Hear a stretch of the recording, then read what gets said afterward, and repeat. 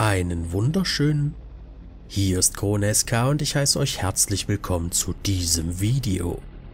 Jeder von uns hat doch schon einmal wenigstens eine Verschwörungstheorie gehört. Seien es Echsenmenschen, sogenannte Reptiloide, die im Verborgenen über uns herrschen, oder seien es Chemtrails, die unsere Persönlichkeit verändern. In irgendeiner Form hatten wir alle schon mit solch einer Theorie zu tun. Und wenn auch viele dieser Verschwörungstheorien völliger Schwachsinn zu sein scheinen, so gab es doch ein paar dieser Theorien, die sich im Nachhinein als wirklich wahr herausstellten. Und genau darum soll es heute gehen. Ich zeige euch fünf Verschwörungstheorien, die sich wirklich als wahr herausstellten.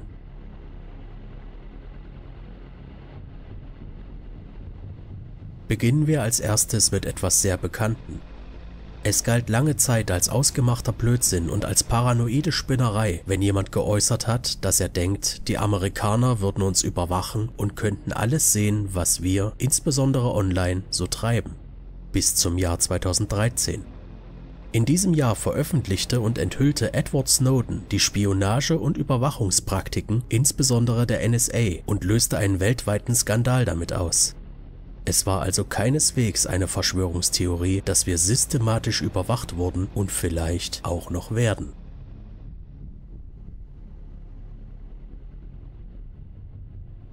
In der Zeit der großen Prohibition, also des landesweiten Alkoholverbotes in den USA von 1920 bis 1933, soll das FBI auf Schwarzmärkten Alkohol verkauft haben, der mit Gift versetzt war. Natürlich galt diese Theorie lange Zeit als völlig schwachsinnig und alle Anhänger der Theorie wurden verspottet. Doch tatsächlich stellte sich heraus, dass diese Theorie der Wahrheit entspricht. Das FBI verkaufte tatsächlich vergifteten Alkohol, der etwa 400 Menschen das Leben kostete. Das Ziel war, die Bürger vom Kauf der illegalen Ware abzubringen.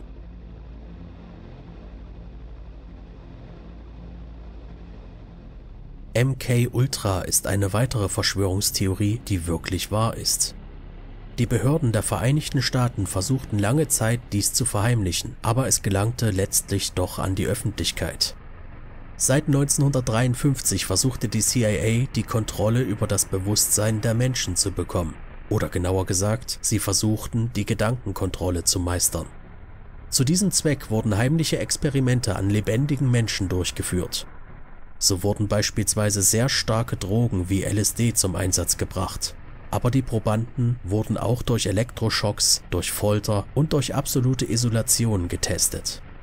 Lange Zeit galten diese Experimente als Verschwörungstheorie, bis plötzlich Aufzeichnungen der CIA an die Öffentlichkeit gelangten.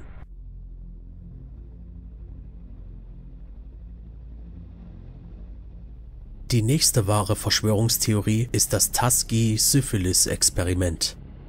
Dieses Experiment hätte grausamer kaum sein können.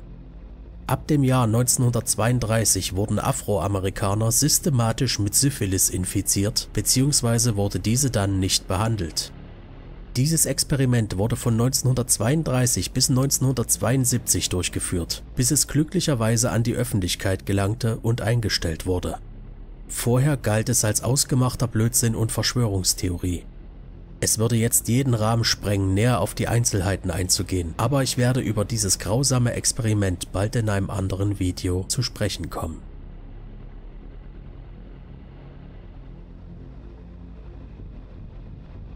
Die letzte Theorie, die sich als wahr herausstellte, ist richtig interessant, da sie noch heute von vielen als dumme Verschwörungstheorie abgetan wird, obwohl es eindeutige Beweise gibt.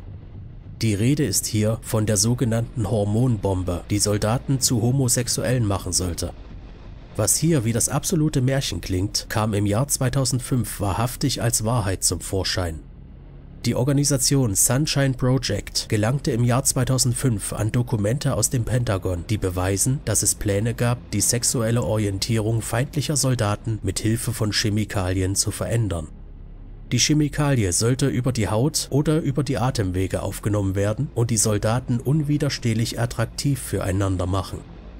Wen die ganze Sache mehr interessiert, ich habe einen Artikel darüber in der Videobeschreibung verlinkt.